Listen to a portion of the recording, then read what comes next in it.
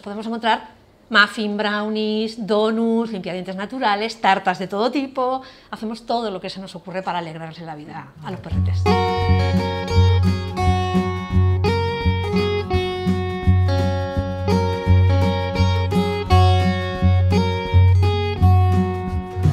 La primera pastelería para perros que hemos abierto en Madrid es a consecuencia de que tenemos, yo tengo perros de toda la vida, mis perros trabajaban y eh, eh, trabajando como perros de terapia eh, hay que darles chuches, hay que premiarles y demás y descubrimos que uno de nuestros perretes se enfermó, se puso muy malito a consecuencia de las alergias alimentarias que, desarrolló.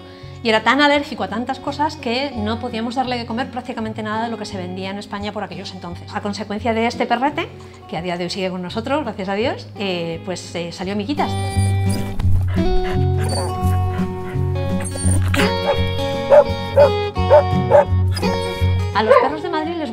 General, comen muy bien nuestras galletas. Sí es verdad que por norma general todo lo que tenga carne, hígado de pollo, pechuga de pollo es lo que más les gusta, pero bueno, es cierto que incluso los clientes que saben que a sus perros las frutas, por ejemplo, no se las comen o no las quieren, luego en nuestra tienda han, descubierto, nuestras tiendas han descubierto que las galletas de frutas les gustan.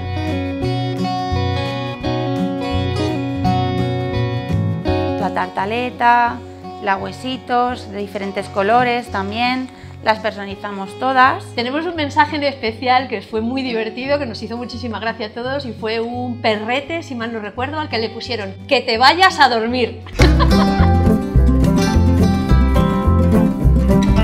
Los helados para hacer, en para hacer en casa tenemos de fresa y coco, de mango, de pera, de piña, de manzana, de plátano tenemos un montón de sabores. Aquí preparamos todo tipo de dulces, todo lo que se nos ocurra. De hecho, cada mes sacamos cosas nuevas. Aquí el ingenio está constantemente funcionando.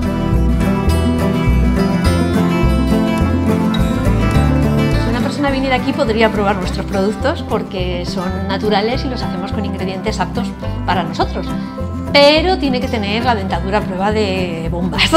Nuestras galletas son extremadamente duras. Hemos tenido algún cliente que ha entrado pensando que esto era una pastelería para personas y ha pedido un brownie para irse lo comiendo por el camino y hemos tenido que decirle que no, que no.